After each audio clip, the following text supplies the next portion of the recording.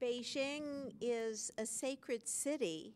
Um, it was actually designed as a sacred city. So Beijing is no accident. It was conceived of and placed exactly where it is and built all by design and by different philosophical systems.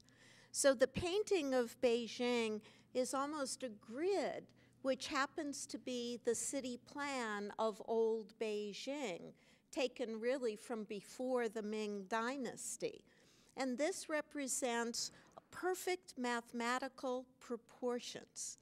So the mathematicians of China designed the city with this concept of heavenly perfection and earthly perfection. In the center, of course, is the Forbidden City.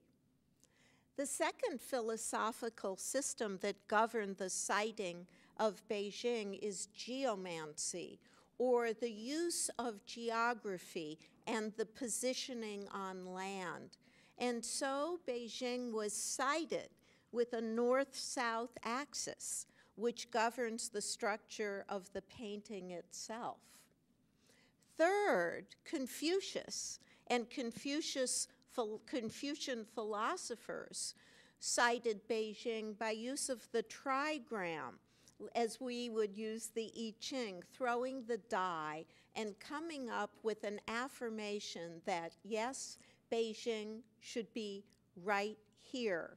So these trigrams line the right border of the painting. And the last philosophical system is the astronomical system. The great astronomers consulted the stars, and the stars, in fact, confirmed the sacred nature of the site. This is the star pattern by these circles and lines. The star pattern is called the purple protected enclosure. And then Beijing has two dancing figures here and here.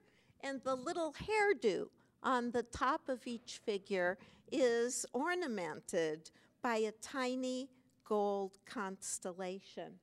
I'll conclude by saying that Beijing has its crimson leaf along Tiananmen Gate.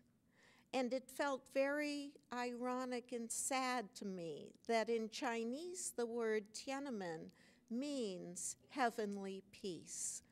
Because, as I said earlier, Beijing was meant to be an earthly mirror of divine order where the Emperor of the Sun lived. So Beijing is called Beijing, heavenly peace on